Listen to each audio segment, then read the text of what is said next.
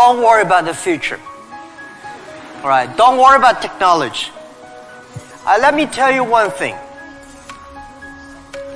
When you worry about the future, that is because you are lack of confidence. You lack of imagination. We don't have, I may not have the solution for future, but there is a solution for future. We don't have the solution for future, but our young people have the solution for future. I find in this world, young people don't worry about the future.